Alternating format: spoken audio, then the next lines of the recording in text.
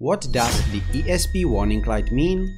This warning light will usually look like the image of a car swerving. ESP stands for Electronic Stability Program and is designed to improve car stability when driving on problematic surfaces.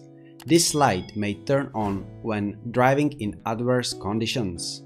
If the warning light is flashing, this means the ESP traction control is working and you will feel more grip within your wheels.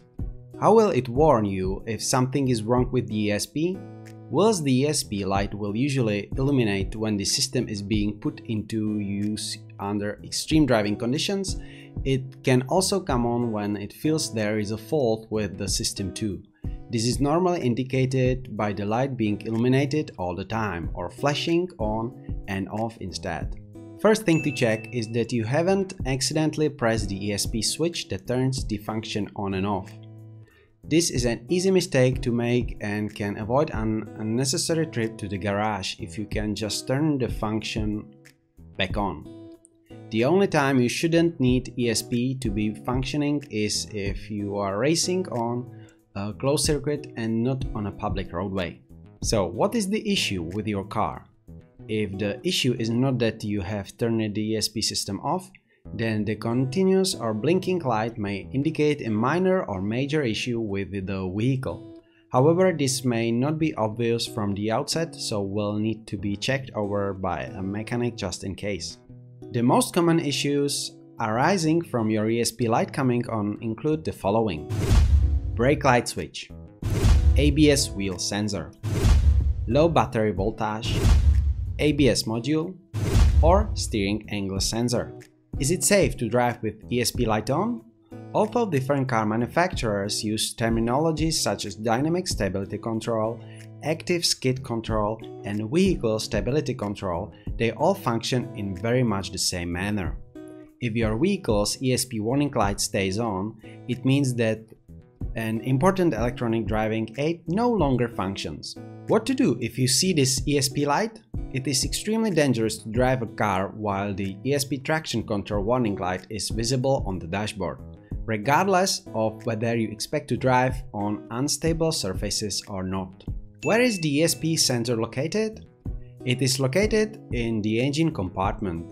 The control unit takes over the electrical and electronic tasks as well as all control functions of the system. Does ESP affect acceleration? Technically, ESP has no effect on acceleration. That's actually the ASR stepping in, also controlled by the ESP button. How do I know if ESP is on in my car? Drivers will be able to see when the ESP system engages due to the light coming on the dashboard. If you have to swerve a car moving over on the motorway or turn rapidly for any reason, the ESP system will kick in to compensate for the driver. How important is ESP in a car? The electronic stability program supports the driver in nearly all critical driving situations.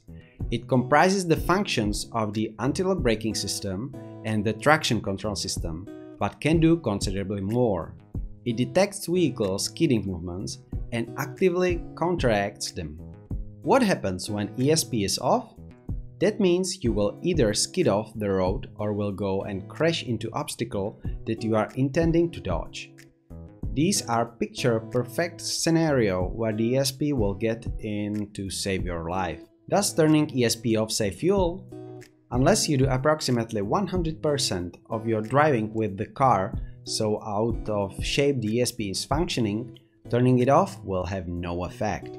Should I turn off ESP in snow? If you've got ESP, the stability control element will help you in a slide. But traction control can sometimes kill power too much and make it hard to get moving in heavy snow. Most cars will allow you to turn off the traction element of the stability control.